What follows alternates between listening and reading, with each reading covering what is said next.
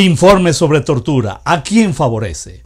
Mucha publicidad se le dio al informe dado a conocer la semana pasada por parte de la Oficina de Derechos Humanos de la ONU en México, tanta y tan dirigida que no puede resultar menos que sospechosa. Y por supuesto que en ningún momento se pretende defender ese tipo de prácticas aberrantes y condenables que forman y han formado parte de la historia de la humanidad. Por supuesto que deben investigarse a fondo y erradicarse de raíz.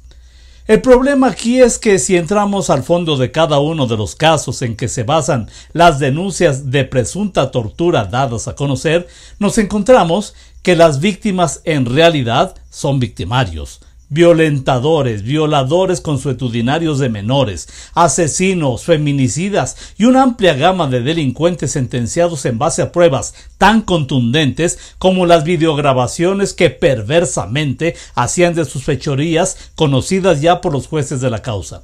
Se esgrime la búsqueda de justicia para los denunciantes y nadie repara en la justicia para las verdaderas víctimas, los niños y niñas violados, las mujeres asesinadas, la menor ultrajada y muerta por su propio padre y tantos casos.